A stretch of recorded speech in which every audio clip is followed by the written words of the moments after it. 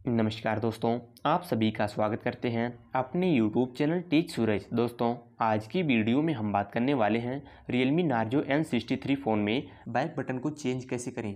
तो गाइज़ उसके लिए आपको सबसे पहले करना क्या होगा? आपको सबसे पहले अपने फ़ोन की सेटिंग को ऑन करना होगा।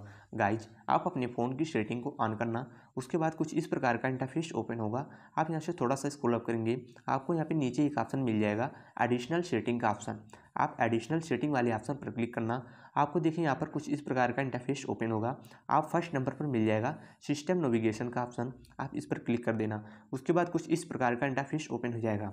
आप देख सकते हो, यहाँ पे आपकी जो बटन की स्टाइल कुछ इस प्रकार से रहेंगी।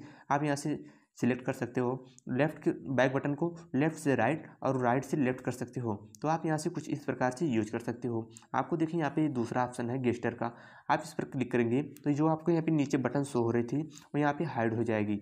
आपको बैक करना है तो आप यहाँ से साइड से बैक आ सकते हो, चाहे लेफ़्ट से या राइट से। आपका मेनू बटन का उपयोग करना है तो आप डायरेक्ट यहाँ से स्क्रॉल कर सकते हो। आपको जो है लास्ट वाला यूज़ करना है तो आप यहाँ से यूज़ करके स्क्रॉल कर दो। आपको देखिए गाइज़ आपको कुछ इस प्रकार से इंटरफेस हो जाएगा। तो गाइज़ आप अपने फ़ोन में कुछ इस प्रकार से बैक बटन की सेटिंग को ऑन करना चाहो तो कर सकते हो। आई होप गाइज़ आपको हमारी वीडियो पसंद आई हो तो लाइक और चैनल को सब्सक्राइब ज़रूर करें। मिलते हैं फिर किसी दिन। नेक्स्ट टॉपिक, नेक्स्ट वीडियो, तब तक के लिए बाय, टेक